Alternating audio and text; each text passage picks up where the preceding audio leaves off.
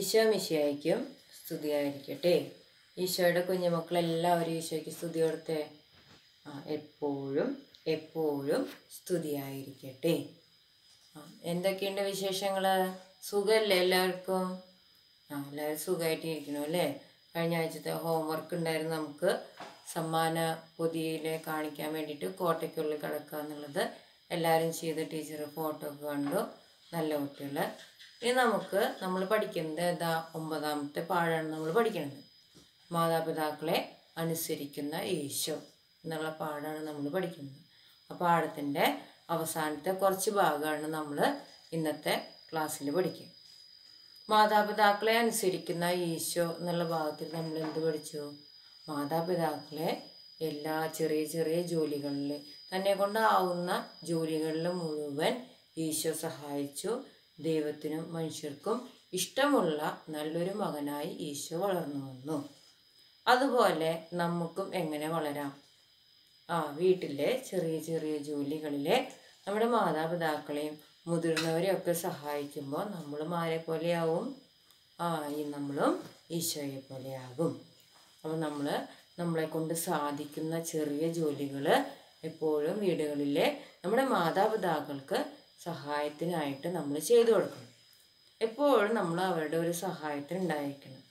നമ്മളെ കൊണ്ട് സാധിക്കുന്ന എല്ലാ ജോലികളും നമ്മൾ ചെയ്യണം.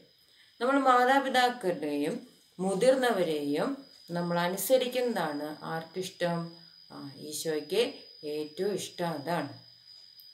അങ്ങനെ ചെറിയ ചെറിയ ജോലികൾ ചെയ്ത് നല്ല കുട്ടികളായിട്ട് നമ്മൾ വളരണം. അതാണ് ഈശോയുടെ ഏറ്റവും നല്ല ആഗ്രഹം.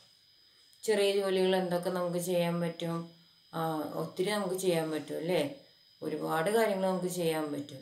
ഒരു ഗ്ലാസ് വെള്ളം വേണമെങ്കിൽ നമുക്ക് പ്രായമായിരിക്ക് ഒരു ഗ്ലാസ് വെള്ളം വേണമെങ്കിൽ നമുക്ക് എടുത്തു കൊടുക്കാൻ നമുക്ക് പറ്റും. ചെടി നനയ്ക്കാൻ നമുക്ക് പറ്റും. തുണികളൊക്കെ മടക്കി വയ്ക്കാൻ ഉണങ്ങിയ തുണികളൊക്കെ മടക്കി വയ്ക്കാൻ ചെറിയ ചെറിയ ടവലുകൾ നമ്മുടെ കുഞ്ഞു കുഞ്ഞു ഡ്രസ്സുകളൊക്കെ മടക്കി വയ്ക്കാൻ മടക്കി വെച്ച തുണികളൊക്കെ നമ്മുടെ ഷെൽഫിൽ കൊണ്ടുവയ്ക്കാൻ അങ്ങനെ നമുക്ക് അങ്ങനത്തെ കാര്യങ്ങളൊക്കെ സാധിക്കും അല്ലേ?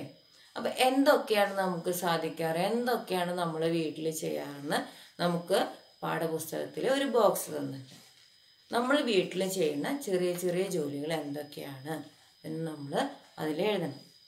അങ്ങനെ എഴുതിയിട്ട് ടീച്ചർക്ക് അത് എല്ലാവരും അയച്ചു തരണം. ഏതൊക്കെ ജോലികളാണ് നമ്മൾ വീട്ടിൽ ചെയ്യണമെന്ന് ടീച്ചറും കൂടി ഒന്ന് അറിയട്ടെ. ഏ? അപ്പം എല്ലാവരും അയച്ചു തന്നോളൂ കേട്ടോ. ഇനി നമ്മുടെ പാഠത്തിന്റെ അവസാനത്തെ ഭാഗത്തിൽ നമുക്ക് കുറച്ച് ഹോം വർക്കുകളാണുള്ളത് ആദ്യം അതിൽ എന്റെ അപ്പന്റെ പേര് നമ്മുടെ അപ്പച്ചന്റെ പേര് എഴുതുക അമ്മയുടെ പേര് എഴുതുക. അതിനുശേഷം ഇനി അതിൽ ഒരു ഹോം വർക്കും കൂടി ഉണ്ട്. ആ ഹോം വർക്ക് ചെയ്യാനായിട്ട് നമുക്ക് എല്ലാവർക്കും ആദ്യം തന്നെ ഒരു പെൻസിൽ എടുത്ത് കൈ പിടിക്കാം. ടീച്ചർ വായിക്കാം. അതിനനുസരിച്ച് നിങ്ങളെല്ലാവരും പെൻസിൽ കൊണ്ട് അവിടെ ഒരു കുഞ്ഞു മുഖങ്ങൾ തന്നിട്ടുണ്ട് അതിൽ മാർക്ക് ചെയ്യണം. എങ്ങനെയാണ് അതിൽ മാർക്ക് ചെയ്യേണ്ടതെന്ന് ടീച്ചർ വായിച്ച് കേൾപ്പിച്ചു തരാം. മുഖം വരയ്ക്കാം. ഇത് ആന്റണി നല്ല പ്രവർത്തികൾ ചെയ്യുമ്പോൾ ആന്റണി ചിരിക്കും. ചീത്ത പ്രവർത്തികൾ ചെയ്യുമ്പോൾ അവൻ കരയും.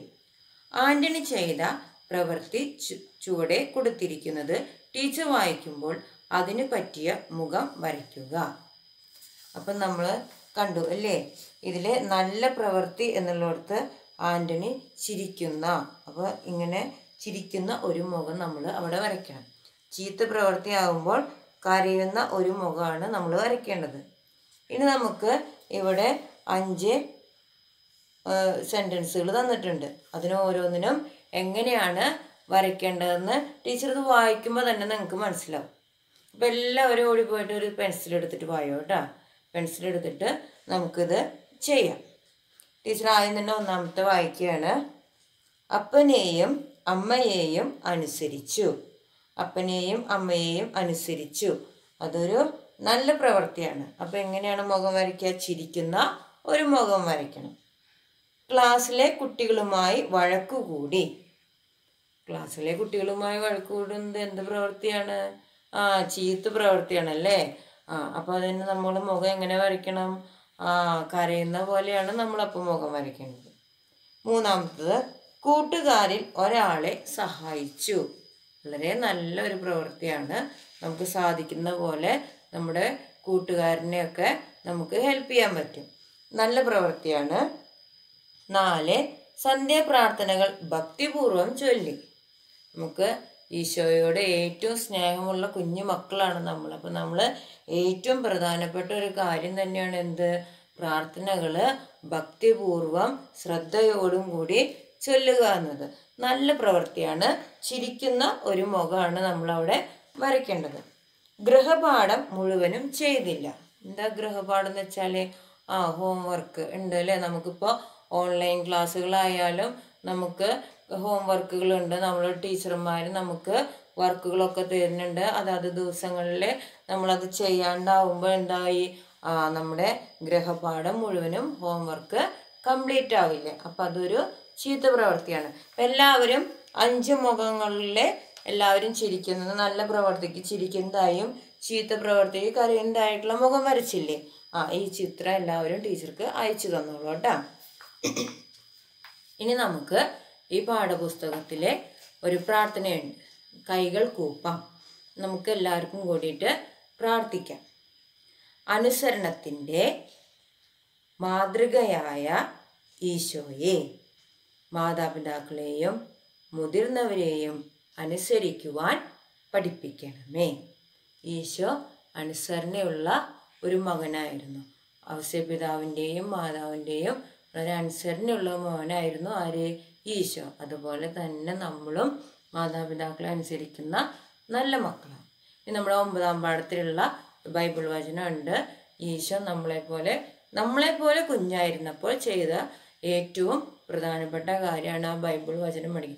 അതിലാണ് ഈശോ എങ്ങനെ നല്ലൊരു കുഞ്ഞായി വളർന്നു എന്നുള്ളത് ബൈബിളിൽ പറയുന്ന ഒരു വാചകമാണത്. എന്താണ്? ഈശോ ജ്ഞാനത്തിലും പ്രായത്തിലും ദൈവത്തിന്റെയും മനുഷ്യരുടെയും പ്രീതിയിലും വളർന്നു വന്നു. ലൂക്ക രണ്ട് അമ്പത്തിരണ്ട്. ലൂക്കയുടെ സുവിശേഷത്തിൽ പറയുന്നുണ്ട് ബാലനായ ഈശോ എങ്ങനെയാണ് വളർന്നത്? അതാണ് നമ്മൾ ഈ സെന്റൻസിൽ പഠിച്ചത്. ഈശോ ജ്ഞാനത്തിലും പ്രായത്തിലും ദൈവത്തിന്റെയും മനുഷ്യരുടെയും പ്രീതിയിലും വളർന്നു വന്നു. ഇത്രയാണ് നമ്മുടെ ഒമ്പതാം പാഠത്തിന്റെ ഈ ചെറിയ ഭാഗമുള്ളത്. നമ്മുടെ ഒമ്പതാം പാഠം ഇവിടെ അവസാനിക്കുകയാണ്. നമുക്ക് പഠന സഹായിയിലെ ഒരു ഹോംവർക്കും കൂടി ഈ ആഴ്ച ചെയ്യാം.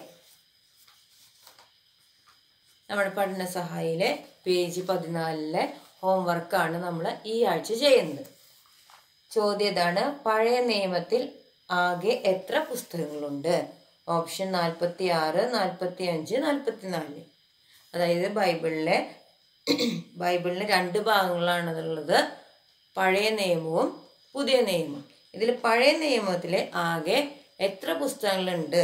അതിന്റെ ഉത്തരം നമ്മൾ ഈ വിട്ടുപോയടുത്ത് പൂരിപ്പിക്കണം അതിന് താഴെയായിട്ട് ഔസപിതാവും മാതാവും ഉണ്ണീശോയെ ദേവാലയത്തിൽ ദൈവത്തിനെ കാഴ്ച അർപ്പിക്കുന്ന ഒരു ചിത്രം നമുക്ക് കാണിച്ചു തന്നിട്ടുണ്ട്. ഈ ചിത്രത്തിന് മനോഹരമായി കളർ ചെയ്തിട്ട് ടീച്ചർക്ക് അയച്ചു തരാം. അങ്ങനെ പഠന സഹായിയിലെ ഒരു ഹോംവർക്കും ടെക്സ്റ്റിലെ രണ്ട് ഹോംവർക്കും കൂടിയിട്ട് എല്ലാവരും ടീച്ചർക്ക് അയച്ചു തരാം. താങ്ക്